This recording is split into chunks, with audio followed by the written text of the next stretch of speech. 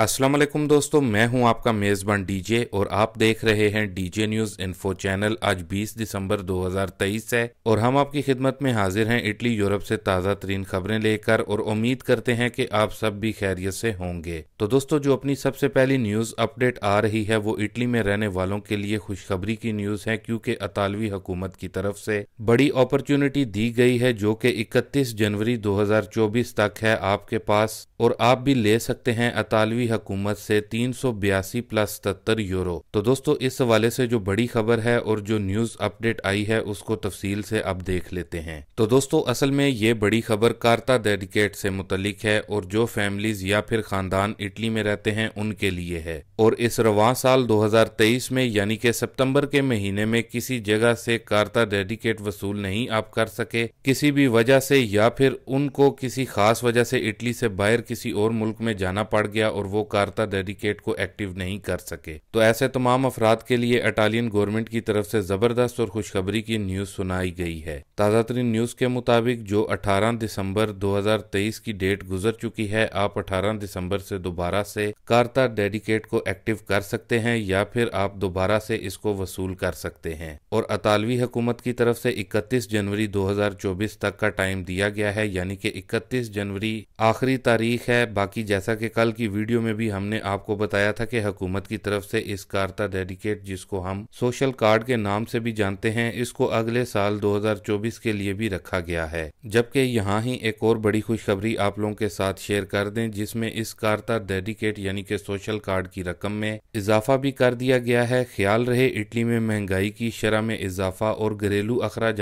में इजाफे को मद्देनजर रखते हुए इस सोशल कार्ड या फिर कार्ता डेडिकेट में इजाफा किया गया है। यानी कि आपको तीन बयासी यूरो तो मिलेंगे, लेकिन इस कार्ड में आपके लिए एक छोटा सा बोनस और भी ऐड किया गया है। मतलब के तीन सौ बयासी यूरो में सतर यूरो मजीद जमा किए गए हैं। अब आपको टोटल चार सौ उनसठ यूरो मिलेंगे और ये जो सतर यूरो इजाफी मिलने हैं, इसको आप बोनस कारबुरानते भी कह सकते हैं। यानी कि ये सतर यूरो जो इजाफी मिलेंगे, इसको आप पेट्रोल और डीजल के लिए इस्तेमाल कर सकेंगे। बाकी बहुत से भाई इस सोशल कार्ड या फिर कार्ता डेडिकेट की शराय से मुतलिक पूछ रहे थे जो कि हम पहले भी वैसे बता चुके हैं। लेकिन एक बार फिर से बता देते हैं कि आपकी फैमिली इटली में होनी चाहिए और आपके ईजे पंद्रह हज़ार यूरो से कम होने चाहिए। इसके अलावा इस बोनस की कोई और शराइत नहीं, बाकी सबसे खास चीज़ जिनको 2023 में ये बोनस, ये सोशल कार्ड मिला है, उनको तो मिलेगा, जबकि ये भी बताया गया है कि जिन फैमिलीज़ को ये बोनस नहीं मिला तो उनको अगले साल 2024 में ज़रूर मिलेगा। बाकी दोस्तों, इसके बाद अपनी अगली न्यूज़ अपडेट को देख लेते हैं, जो कि इटली और इंग्लैंड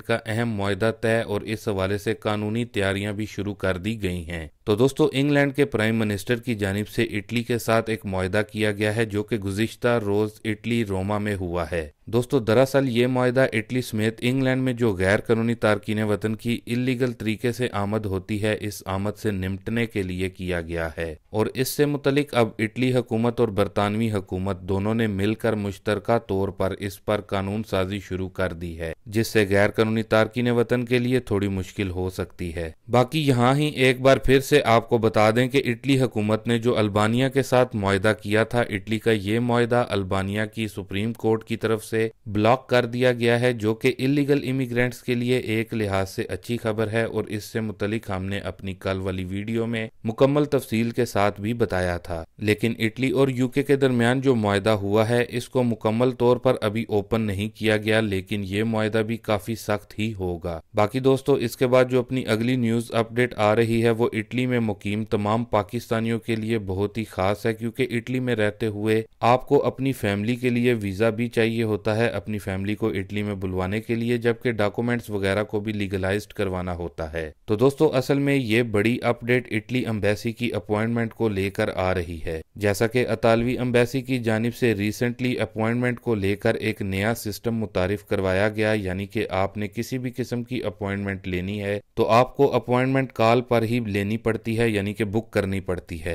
लेकिन दोस्तों, अब जो बताया जा रहा है, उसके मुताबिक आपने चाहे फैमिली वीज़ा के लिए अपॉइंटमेंट लेनी हो या फिर लीगलाइजेशन के लिए या फिर वर्क परमिट, विज़िट वीज़ा के लिए तो आपको बीएलएस के थ्रू अटालियन एम्बेसी की अपॉइंटमेंट मिलेगी। ख्याल रहे BLS का एक खास पोर्टल आने वाला है, जिसके ज़रिए आप अटालियन एम्बेसी की अपॉइंटमेंट को बुक कर सकेंगे। बाकी यहाँ ही आपको अटालियन एम्बेसी की अपॉइंटमेंट से मुतलिक भी बता दें, जिन लोगों ने इटली फैमिली वीज़ा के लिए अपॉइंटमेंट लेनी है। तो दोस्तों, अगले साल जून 2024 तक फैमिली वीज़ा के लिए अम्बेसी की अपॉइंटमेंट मिल रही हैं। जबकि लीगलाइजेशन की बात करें तो अप्रैल 2024 तक लीगलाइजेशन की तमाम अपॉइंटमेंट बुक हैं। जबकि अभी जिन लोगों को लीगलाइजेशन के लिए अपॉइंटमेंट्स मिल रही हैं, उनको मई 2024 की मिल रही हैं। जबकि विज़िट वीज़ा के लिए अभी फ़िलहाल अपॉइंटमेंट्स ही नहीं मिल रही। जबकि जिन लोगों ने वर्क परमिट इटली के अप्लाई करने हैं, मार्च तक उनकी अपॉइंटमेंट्स बुक चल रही हैं। बाकी दोस्तों, ये थी अभी तक की न्यू अपडेट अटालियन अम्बेसी की। इसके साथ ही अब इटली इमिग्रेशन की जो नई न्यूज़ अपडेट आ रही है, खास तौर पर पाकिस्तानियों के लिए, जिसमें पाकिस्तानियों के वीजे रिजेक्ट हो रहे हैं। जी हाँ दोस्तों, जैसा कि आपको मालूम है कि 27 मार्च 2023 को काफ़ी लोगों ने इटली की फ्लूसी इमिग्रेशन में अप्लाई किया था, जिनमें से बहुत से लोगों के नोला उस्ता भी निकल चुके हैं, जिसमें सीजनल और नॉन सीजनल नोला उस्ता हैं और उन्होंने अपने वीजे के लिए अम्बेसी में डॉक्यूमेंट्स जमा करवाए हैं और जो अब खबर सामने आ रही है, उसके मुताबिक अटालियन अम्बेसी की तरफ़ से बहुत से लोगों के वीजों को रिजेक्ट किया जा रहा है। यानी कि अगर 10 वीजे जमा हुए हैं तो सात आठ लोगों के वीजे रिजेक्ट हैं और जो वजह है, वो सेम ही है। मतलब के इंटरव्यू पास नहीं कर सके, उनको अपने काम से मुतलिक कुछ मालूम नहीं था। इस तरह की रिजेक्शन की वजह बताई जा रही है। बाकी अगर आप में से भी किसी भाई का रिसेंटली वीज़ा अटालियन अम्बेसी की तरफ़ से रिजेक्ट हुआ है तो आप कमेंट बॉक्स में हमारे साथ और हमारे सब्सक्राइबर्स के साथ डिटेल ज़रूर शेयर कर सकते हैं कि आपका वीज़ा आया किस बुनियाद पर रिजेक्ट किया गया है। बाकी चूँकि इमिग्रेशन की बात हो रही है तो आपको यहाँ पर यह भी बता दें कि रिसेंटली जिस इमिग्रेशन के पेपर्स क्लिक हुए हैं, यानी कि दो चार बारह दिसंबर, इस इमिग्रेशन के नोलाउस्ता अगले साल जनवरी 2024 से निकलना स्टार्ट होंगे, क्योंकि इटली में अब नतालिया की छुट्टियाँ शुरू हो गई हैं। बाकी दोस्तों, इसके बाद अब आपके साथ बोनस असैनियो दी इंक्लूजोने से मुतलिक जो न्यू अपडेट है वो शेयर कर दें। तो दोस्तों इस नई अमदाद के दुमानदे वैसे तो 18 दिसंबर 2023 से शुरू हो चुके हैं और इस बोनस या फिर अमदाद के लिए अतालवी हुकूमत की तरफ़ से जो ईजों की शर्त रखी गई है वो 9,360 यूरो है यानी कि